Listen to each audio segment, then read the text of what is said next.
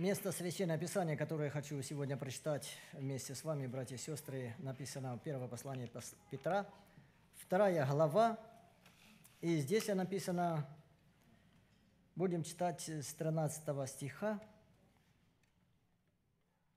и по последней, наверное, 25.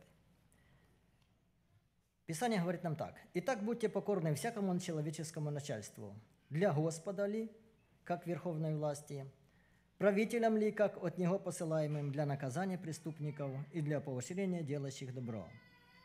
Ибо такова есть воля Божья, чтобы мы, делая добро, заграждали уста невежеству безумных людей. Как свободные, не как употребляющие свободу для прикрытия зла, но как рабы Божьи. Всех почитайте, братство любите, Бога бойтесь, царя чтите – Слуги, со всяким страхом повинуйтесь Господам, не только добрым и кротким, но и суровым. Ибо то угодно Богу, если кто, помышляя о Боге, переносит скорби, страдая несправедливо. Ибо что за похвала, если вы терпите, когда вас бьют за проступки? Но если, делая добро и страдая, терпите, это угодно Богу. Ибо вы к тому призваны, потому что и Христос пострадал за нас, оставив нам пример, дабы мы шли по следам Его. Он не сделал никакого греха, и не было лести в устах его. Будучи злословием, он не злословил взаимно, страдая не угрожал, но предавал то судьи праведному. Он грехи наши сам вознес телом своим на дерево, дабы мы, избавившись от грехов, жили для правды, ранами его вы исцелились. Ибо вы были как овцы блуждающие, не имея пастыря, но возвратились ныне к пастырю и блюстителю душ ваших. До этого места, братья и сестры, мы слышали, э, что Писание нам говорит о том, чтобы мы, как христиане, должны были послушны всякому верховной власти. И таким образом, когда мы будем послушны, мы будем заграждать уста невежеству безумных людей. Вот. И мы должны подчиняться. И я думаю, и я знаю, что мы так и делаем. Работаем хорошо, платим налоги, поступаем справедливо, стараемся жить честной, святой и справедливой жизнью, и это все перед лицем Господа. Как достойно рабам Божьим. И немножко дальше там написано тоже и слугам, чтобы они были покорны Господам своим и слушались то, что говорят Господа им. Вот. Даже и несмотря на то, что они бывают и жестокие, вот, и злые, нужно им покоряться, потому что так говорит Писание. И там, значит, указывается на Иисуса Христа, на том, что Он претерпел, что Он перенес, э, как Он пострадал. И написано, что Он оставил нам пример. И вот, друзья мои, 15 стих говорит нам о том, чтобы рабы Божьи. А 21 стих говорит о том, чтобы мы шли по следам Его. И вот, друзья мои, сегодня в процессе этого служения, этой проповеди, вот, моя мысль – идти по следам Иисуса Христа, вот, как рабам Божьим. Вы знаете, братья и сестры, э, я скажу и тему, которую, которую сегодня хочу с Божьей помощью изложить сегодня вам. Работая в аэропорту, здесь в нашем Портландском, ко мне подошел один юноша молодой. Ему было 20 лет – на тот момент. Сейчас у этого юноши уже, наверное, четверо детей. Вот. И он задал мне один вопрос. Брат Виктор, а как вы смотрите на то, что можно ли христианину брать оружие? И дальше немножко помолчал, он сказал, что потому что среди молодого поколения очень много разногласий и очень много споров. Время было ограничено, и поэтому я ему дал ответ буквально в нескольких предложениях. После чего он согласился, что оружие в руки брать нельзя христианину. Вот. И, э, и сейчас у него уже несколько детей. И вот, друзья мои, э, мне хочется посмотреть о, о том, что, что нам говорит Писание. Вы знаете, э, Писание говорит, если взять Иакова, послание, первое э, предложение говорит Иаков, раб Господа Иисуса Христа – Потом мы читаем Петра, э, э, начинаем служение, начинаем читать Евангелие Петра, и там написано также «Петр – раб Господа Иисуса Христа». И э, когда мы читаем Иуду, также написано «раб Господа Иисуса Христа». Апостол Павел, когда начинает послание к римлянам, также пишет, что он раб Господа Иисуса Христа. И вчера я, я даже прочитал место Священного Писания, которое написано в Откровении, в самой первой главе. Там написано о том, что значит, Бог послал откровение рабам своим, вот, и через раба своего Иоанна. То, друзья мои, мы не свои, мы рабы Иисуса Христа. А в 11 главе Матвея он предлагает взять Иго на себя э, э, всем христианам, которые придут к Нему и последуют за Ним. И вот, друзья мои, э, это иго, оно не тяжко, вот, и бремя очень о, легкое. И желание моего сердца рассказать сегодня немножко, знаете, пройти по следам его и сказать четыре, примера из Священного Писания, чтобы мы обратили внимание, какие следы он оставил нам на сегодняшний день. Друзья мои, мы, мы видим э, первое место Священного Писания, которое мне не хочется напомнить сегодня, это Марка, 7 глава. Она повествует нам о том, что Серафик, когда он пришел в один из городов, то встретила его Серафиникиянка, то есть язычница. И вот, хотя Христос не хотел, чтобы кто-то узнал об этом, вот, но все же таки дошло до слуха этой женщины, что пришел Христос, и она бросила все, поспешила к Нему – вошла в дом, пала к ногам его и стала умолять, чтобы он освободил дочь ее от беса. И там между ними прошел диалог, друзья мои, и Христос э, в конце сказал, «О, велика вера твоя, дочь, иди». И дочь освободилась от бесов. И, друзья мои, если так посмотреть на вот эти действия Иисуса Христа, ведь мог Он свободно сказать ей, что ты серафиникиянка, ты язычница, ты не из израильского народа, вот, поэтому у меня нет никакого дела к тебе. Вот, иди до своих богов, иди до своих старейшин, правителей, пусть они совершают над тобой обряды, над домом твоим, и пусть там они все это дело решают. Нет, сжалился над нею, усмотрел милость свою над нею и послал освобождение дочери ее. Второе место Священного Писания написано Лука, 7 глава. И оно говорит нам так, что когда Христос пришел в город Наин в Израиле, то он увидел похоронную процессию. И несли одного юноша, э, молодого юношу. И вот за ним шла мать и плакала. Шли окружающие соседи, наверное, родственники, тоже плакали, утешая ее. И Христос посмотрел на всю эту процессию похоронную – понимает, что уже нет наследника, понимает, что уже нет помощника, сострадая э, этому всему делу, он остановил процессию и сказал, юноша, тебе говорю, встань. И юноша встал, значит, и он сказал, отдайте его матери ее. И вот, друзья мои, смотря на эту картину, и какой нам оставил след в, э, в этом действии, которое сегодня, на сегодняшний день читают многие христиане – то я посмотрел так, он подошел к этому мертвому телу и дал жизнь. И дал жизнь. Братья и сестры, как вы думаете, как мы, христиане, как мы, рабы Господни, возьмем мы в руку свою этот металл, чтобы лишать жизни человеческой, или пойдем по словам, по следам Иисуса Христа, чтобы, видя подобную картину, значит, иметь сострадание, и, быть может, по воле Божьей возвать Господу или умершего, или убитого, и по воле Божией поднять его из мертвых и дать жизнь. Не взять, не забрать ее жизнь металлом, но дать жизнь душе, подобно, как сделал Иисус Христос. Третье место Священного Писания, которое сегодня хочу осветить, записано в 4 глава Иоанна. Э, и там написано так, что Христос встретился с самарянкой – и вот он, э, значит, э, с ней начал иметь диалог, начал, попросил воды. И заметьте, что не Христос сказал, что я с тобой не буду сообщаться, вот, а она сказала, что как ты спросишь у меня, ты же иудей. Вот. У нас же нет никаких э, э общих, э, об, общих э, дел с иудеями, а ты просишь у меня э, пить у самарянки. Но Христос не сказал, нет, Он ей предложил воду живую.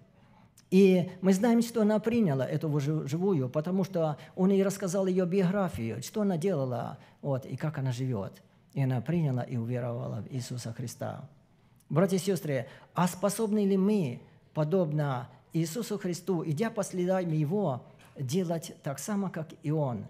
То есть не положить разницу между тем, э, на каком языке ты говоришь, и какой у тебя акцент. Вот. Подобно как он сказал, что значит, э, э, дам тебе воду живую, способны ли мы предложить этому человеку с другой национальности эту воду живую, это Слово Божие, которое спасает через Иисуса Христа. Способны ли мы? Или, быть может, в нашем сердце проявится какая-то значит, отчужденность. Нет, я такой национальности, а ты такой национальности, поэтому я не буду с тобой даже и разговора разводить заводить. Но мы видим, Священное Писание говорит о том, что Христос не положил разницы и предложил ей воду живую. Друзья мои, еще одно место Священного Писания, четвертое, которое хочу на сегодня осветить, написано в 8 главе Иоанна, и оно повествует нам о том, как однажды ко Христу привели вот эту женщину, взятую прелюбодеяние. И вот, друзья мои, казалось бы, уже безвыходное положение, э, все, значит, нужно человека предать смерти, потому что и закон на этой стороне. И мы видим, что Иисус Христос, Сын Божий, Он говорит вот этим людям, которые привели к ней эту женщину, взятую прелюбодеяние, говорит, да, возьмите камни и побейте, если у вас нет греха, если на ком греха нету, бери камень и кидай первый. И, братья и сестры, не нашлось ни одного человека, который бы имел дерзновение поднять руку свою и опустить э, камень на это тело. тело. Потому что все согрешили лишены славы Божьей, у каждого что-то нашлось. И, братья и сестры, я так смотрю на вот этот случай, он говорит нам о многом. Вот если мы встретим, значит, человека, который, как бы казалось, уже обречен на смерть, на смерть, и нет уже выхода, то если есть значит, возможность возвать Господу, э, дать, чтобы Господь дал мудрости и помочь этому человеку выйти из этого положения, и не осудить, и не сказать в сердце своем, что «а, ты делал» или «ты делала такие дела», ты получила свое, ты получаешь свое, так тебе и надо. Нет, сохрани нас Господь но как рабы Божии, смотря на Иисуса Христа, на нашего Господина, сделать подобно, как Он сделал. Значит, если это есть в нашем значит, э, сознании помочь, и если есть какая-то возможность в этом помочь, чтобы не осудить на смерть, но оправдать человека. Друзья мои, мне есть желание рассказать э, три примера. Это не примеры, и не пересказанные кому-то. Это, это примеры, которые я сам пережил в своей жизни, встречаясь с этими людьми. И вот э, первый пример я хочу рассказать об о своем отце. Все мы знаем 1941 год, и началась война с Советского Союза с Германией. Вот. И всех забирали на фронт, чтобы встречать врага значит, огнем. И вот вместе, так как э, папа мой был молодым, ему было на тот момент 23 года. И вот он пошел на фронт. Вы знаете, мама была верующая, бабушка моя, а дедушка был неверующий. И вот папа колебался, хромал духовно. Он взял оружие и пошел на фронт. И когда он э, пошел на фронт и прошел эту подготовку и вступил в бой, то вот и взял оружие, и то вот летит пуля. На этом, братья и сестры, я сознательно останавливаю этот рассказ и перехожу ко второму свидетельству, чтобы мы могли понять, что все, что не происходит, вот, оно под контролем Бога. И ничего не, без контроля Бога не бывает. В соседнем городе жил один, была одна семья, в соседнем городе, где я жил, там, на востоке – и вот там была она хорошая семья, знаете, верующая была, но один из этих сыновей, он хромал, духовно хромал. И вот пришло время, он повзрослел и стал юношею, И все, как мы все знаем, в Советском Союзе, то всех забирают принудительно в армию. То есть там была обязательная армия, вот, и все шли в, э, в армию. Все должны служить. Кто два года на флоте служили по три года, но все должны пройти через это. И когда его забрали, этого юноша, в армию, то он, значит, э, тогда на тот момент была война в Советского Союза с Афганистаном.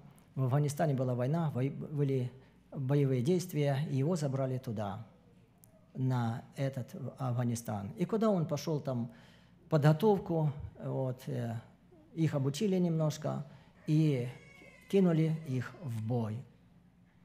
И вот, братья и сестры, когда они вступили в бой, летит пуля.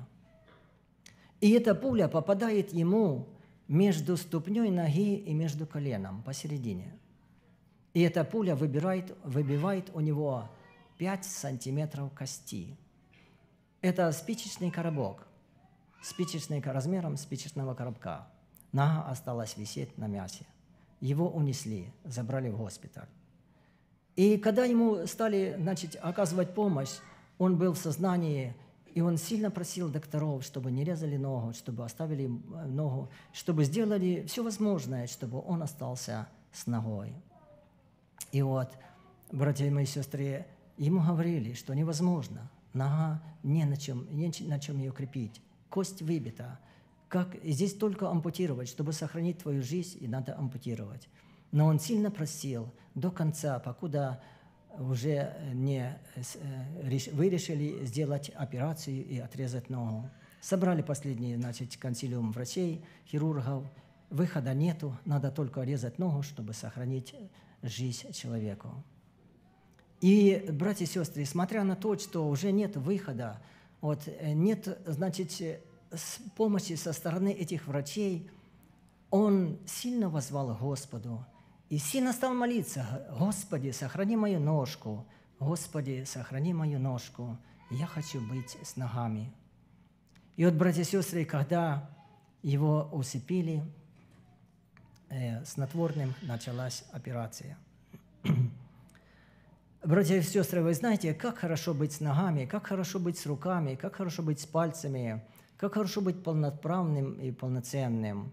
Вот. И братья и сестры, у меня есть один зять, э, моя жена и старшая сестра ее вышла замуж за коллегу.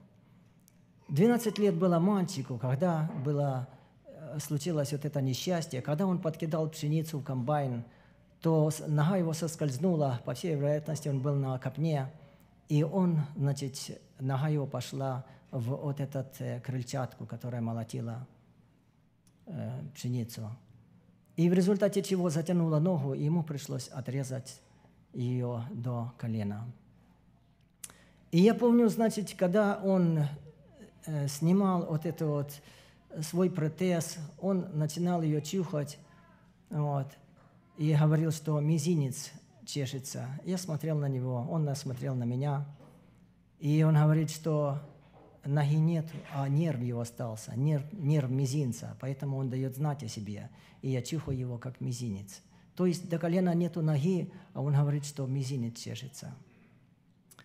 Братья мои и сестры, у нас на данный момент проходят тяжелое положение два брата, и им предложили ампутировать члены тела. Мы знаем все это, мы молимся об этом, чтобы Господь их сохранил – и помог, и чтобы они были здоровы и ходили на своих ногах. И, друзья мои, смотрите, как оценено нашими братьями, как оценено нашими братьями то, что дал Господь. Они не согласились на э, решение врачей. Они сказали, что не надо нам отрезать пальцы, ни ногу, ничего не отрезать. Мы надеемся на Господа. Благослови Господь, укрепи их веру, чтобы они остались со своими ногами, со своими членами церкви, э, членами тела. Друзья мои, когда вот эти зять и еще один там человек, тоже без ноги, они встречались, то они э, друг другу советовали, какой мазью помазать, значит, вот эту вот наконечность отрезанную, чтобы она не прела, чтобы она не натиралась, а какой мазью помазать лучше, насколько это тяжело, насколько это трудно, значит, не иметь части тела в, в, в теле, не иметь частей в теле. И вот, друзья мои, возвращаясь к тому, когда он лежит на операционном столе, вот этот молодой юноша, который так просил у Господа, оставь мою ножку, Господи, оставь мою ножку. И вот мы видим, и вот э, когда он уже оснулся после наркоза, прошла операция, он мне рассказывал сам. И говорит, первый взгляд, который я кинул на, ну, на то, что там не должна быть нога, потому что врачи сказали, что мы отрежем ее тебе. И вот когда я посмотрел, говорит, то я увидел свою ногу. Нога есть, она не отрезана, она не отрезана. То есть в последний момент Бог так э, ответил чудно на его зов, на его крик души, что он повелел врачам взять кость из его тела вот, и вставить туда для того, чтобы она обрастала, э, и вставить такой аппарат, Э, на спицах с резьбой, чтобы он периодически подкручивал вот эту резьбу и растягивал кость для того, чтобы она как-то могла восстановиться и выровняться, э, значит, вот это тело. Я сам видел, как он подкручивает. Обыкновенным ключом на 10 он подкручивал периодически, чтобы как-то растянуть эту кость. Но так ему и не удалось. И по сегодняшний день одна нога короче, одна нога длиннее. Вот. И получилось так, что духовная хромота, она выровнялась. Он стал верующим, хорошим христианином, настоящим христианином и служит по сегодняшний день Господу. И, значит, некоторое время э, мы вместе с ним служили Господу, ну, потом у брата, значит, появилась семья, и я э, стал служить, значит, в другом месте. Вот. То, что я хочу сказать, когда этот человек предстал при величием Божьим – этот человек, то Бог ему сказал через сосуда, что пуля, она летела в твое сердце, но я направил ее в ногу. Братья и сестры, а ведь мог бы свободно убрать ее, чтобы она дзенькнула возле, подняла пыль на дороге, там, где он лежал, и все. Но взял Бог, направил ее в ногу, для того, чтобы выровнялась вот эта значит, э, духовная хромота, и хоть и остался он калеком, но уже стал настоящим христианином, и Бог направил ее в ногу. И вот, друзья мои, мы все внимательно слушали, да, и э, помнили, когда папа вступил в бой, возвращаясь к этому первому свидетельству, когда папа вступил в бой, то летит пуля. И, как мы знаем, то э, указательный палец лежит на курке оружия, а средний и безымянный обхватывает кольцо, которое значит, ограждает курок от случайного нажатия, как бы предохранитель находится. И вот когда летит пуля, она попадает в вот эти три пальца. Вот эти три пальца, которые лежал на курке и обхватывал ограничитель и отбивает их. Отбивает их. Остаются пальцы только мизинец и большой палец. Это была правая рука, рабочая рука. Все, забрали его с боя. Здесь сделали культяшку, и он оказался с двумя пальцами, вот этими – и сколько потом, друзья мои, всю жизнь он мучился как калека. Ему надо было работать, поднимать нас, деточек. Ему надо было трудиться. И вот э, если я беру косу, я обхватываю ее пять, пять пальцев. У меня все давление в пальцах на косе, на древке коса, кос, э, косы. Или беру вилы, или беру грабли, лопату. Я работаю пятьми пальцами. Вот. И э, для меня не составляет такого большого труда, да, физически прилагаем труд, вот, но не составляет большого труда, потому что пять пальцев в работе. А он всю жизнь мучился, работал, и брал себе в руки косу, и брал грабли, лопату, вот, и вилы, и все это делал двумя пальцами. Завязывал мешки, делал все, только это делал двумя пальцами. Насколько было неудобно, насколько было тяжело, я видел, как он мучился, но уже никуда ничего не сделаешь. Вот. И поэтому, братья и сестры, как прекрасно иметь части тела, и как прекрасно быть полноценным и здоровым. Друзья мои, э, Писание нам говорит в 11 главе Матвея, он говорит, что придите ко мне все труждающие и обремененные, я успокою вас. Возьмите иго мое на себя и научитесь от меня, ибо я кроток, написано, да, кроток. Теперь, друзья мои, когда в той же Матвея 21 глава говорит нам о том, что не бойся черь Сиона, ибо царь вам грядет, сидя на ослице и молодом осле, кроткий, да, кроткий. Теперь филиппийцам в 5 э, главе 4 стихом написано, что кротость ваша да будет известна всем человекам. Я здесь работаю сейчас и убираю кабинеты, и вот там сидит молодая одна женщина, она из Гватемалы, вот, и работает там. И я взял э, вот этот коробочек, такой небольшой, может быть, как две ладони, и сложить черный такой. Я думал камень. Но как поднял его, глянул, это дерево. Дерево просто покрашено в черный цвет. И на этом дереве белыми буквами написано, э, значит, по-нашему, работай хорошо, будь честной и пребывай в кротости. И пребывай в кротости. Такое хорошее она пожелание. Сама для себя сделала. Я читаю ее каждый раз, когда выхожу на работу, убираю кабинет, то читаю эти слова. И э, что я хочу сказать, братья и сестры, мы можем себе представить кроткого христианина, раба Господнего, с оружием в руках и отнимающего жизнь у других. Нет, не можем. Такого не может быть. Это несовместимо. И, друзья мои, Писание нам говорит о том, что 13 глава и к евреям говорит о том, что Иисус Христос вчера и сегодня и во веки тот же. Да? Мы знаем это с места Священного Писания – а вот первое послание Иоанна, пятая глава, там в конце написано, что Иисус Христос есть истинный Бог и жизнь вечная, да? Так написано.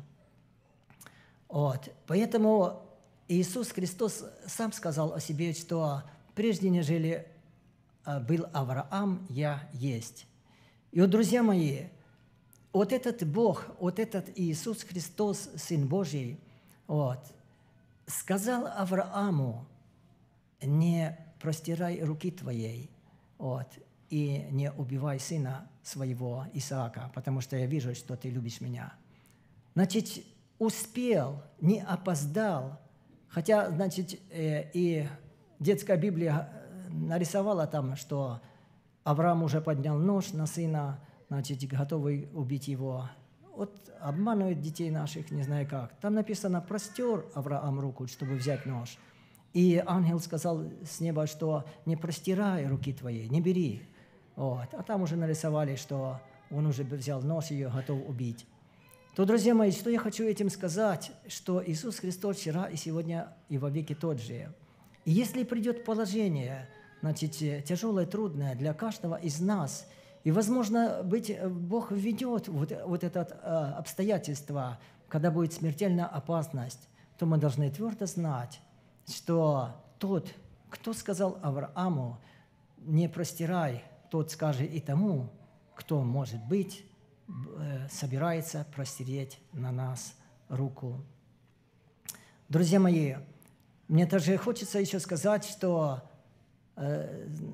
когда, значит, Священное Писание говорит нам о том, что апостол Павел в 20 главе Деяния святых апостолов, он собрал туда всех пресвитеров церкви.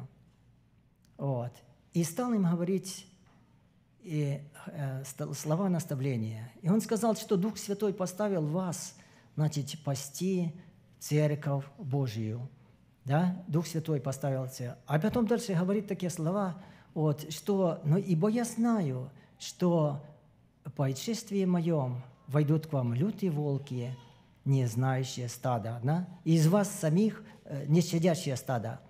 Вот. И из вас самих восстанут люди, которые будут говорить превратно для того, чтобы увлечь учеников за собою. И вот, друзья мои, э, я так считаю, что как они были на то время, так они и есть и на сегодняшний день. Вот. И чтобы народ Божий бодрствовал и стоял на страже.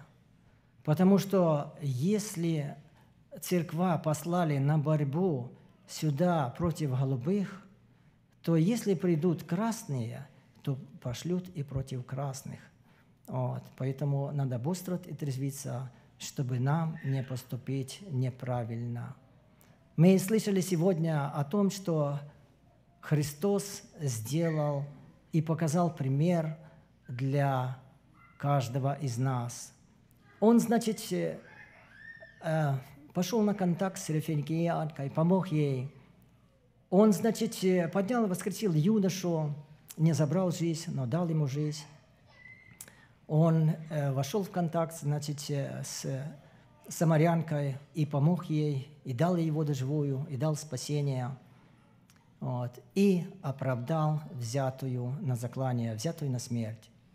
Поэтому благослови нас Господь, друзья мои, чтобы нам бодствовать, чтобы нам поступать, как Он, быть в действительности рабами Иисуса Христа. Еще хочу сказать, братья и сестры, тем, кто надеется на свое оружие. Вот третий пример. Вот, я хочу рассказать. Это был сам свидетелем. Мы живем в этих домиках, знаете, на передвижных, вот как через дорогу э, Конкорд на той стороне, такие домики. И я однажды вышел утром и пошел или за почтой, или куда-то я шел. И через дом выходит навстречу один мне, ну, на мой э, взгляд, такой довольно-таки крепенький, высокий э, дедушка, выше на меня голову. И встретил меня, поздоровался, я посмотрел на него, он посмотрел на меня. Я заметил его бледное лицо и дрожащие руки. В руках у него была чашка кофе, черного-причерного – он, он весь дрожал и рассказывает мне свою историю.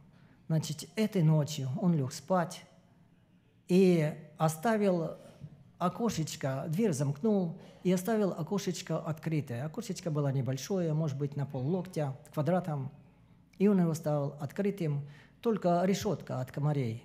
Вот. Это было лето, и он оставил его для ночной прохлады. И когда значит, он уже лег и уснул, то он мне рассказывает такие слова, слова, что когда он очнулся от яркого-яркого света, и он мне говорит, первая мысль, которая пришла мне в голову, я в огне, то есть мой домик горит. Но потом вторая мысль пришла за ней, нет, это стоит человек, который светит мне фонариком в глаза. Значит, ночью пришел один человек – который или ножичком разрезал вот эту капроновую сетку, или, может быть, рукой разодрал, просунул руку, отодвинул засов и вошел в комнату, и вошел в дом, в этот мобилхомчик. И вот когда он подошел, я не знаю, ходил ли он по комнатам, или он сразу пошел в спальню туда, он увидел лежащего человека, насветил на него. И когда тот открыл глаза, то стоящий спросил у него – и светящий. Ты один живешь в доме? И лежащий отвечает, нет, я никогда один не жил в доме. И вот в этот момент сразу же мгновенно лежащий делает резкий поворот в направлении тумбочки, где у него лежал револьвер. Вот. Стоящий глянул на это мгновенно, прыгает на него и хватает его за руку – и мгновенно он выхватывает руку с-под него и выскакивает на улицу и бежит до соседа, и чтобы позвонили в полицию. О. То что я хочу сказать? Человек, который ложился, он ложился спокойный. Ничто его не возьмет. У него рядышком защита. Он может воспользоваться ею и помочь, и спасти себя, и сохранить себя – Скажите, братья и сестры, сохранил бы ли он себя? Конечно, нет. Помогло бы ему то, что лежало в тумбочке у него? Конечно бы не помогло. Он, этот стоящий мог бы спокойно убить его, даже и не начиная разговора, и не включая фонарика. Вот. Но я скажу вам, братья и сестры, что рядышком там жили наши верующие вот, с другой церкви, И вот он, э, это правдивый рассказ, когда этот э, брат верующий проснулся, он глянул в окно, а у него на улице холодильник был, и он глянул, что он открытый.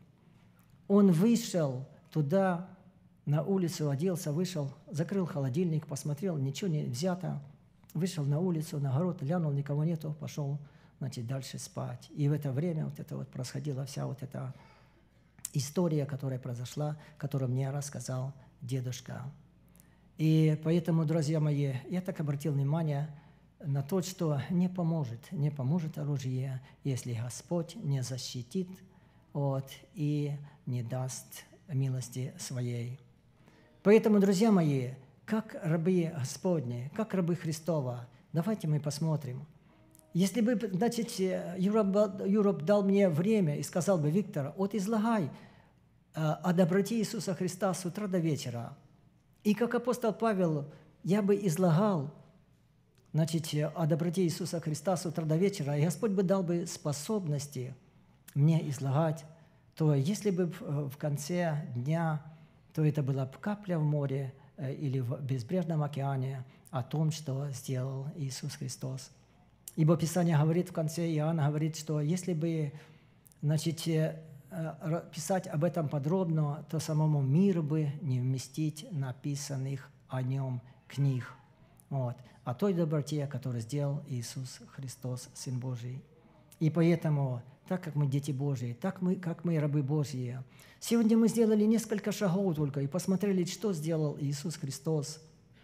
И поэтому, друзья мои, будем мы подобны Иисусу Христу, будем мы рабами послушными и делать то, что Он сделал, для того, чтобы нам было благо и хорошо, и мы могли не отнимать жизни у людей, а давать им. Да благословит нас всех Господь, и мы помолимся Господа, поблагодарим Его. a mim.